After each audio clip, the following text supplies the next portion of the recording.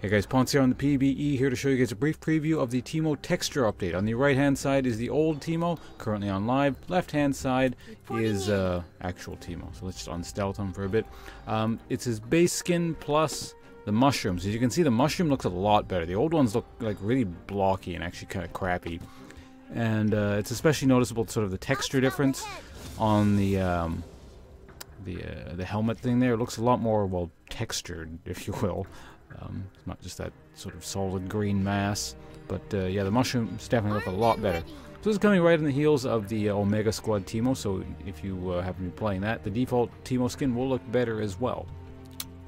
Um, now, I do read, the, just sort of an aside, I do read the comments uh, most of the time. I'm noticing I've been making these um, texture update videos for a while now, uh, so I'm kind of surprised to see this. But just to remind everyone, these are texture updates. They're not supposed to be these massive, crazy, you know, everything changes about. They just changed very subtle changes to make them uh, the champions look better with the new Summoner's Rift. So, I mean, if you're complaining that this is not a massive change and, you know, Teemo still looks like the old piece of crap and you hate him and that's not really the point of this. But just thought I'd point that out.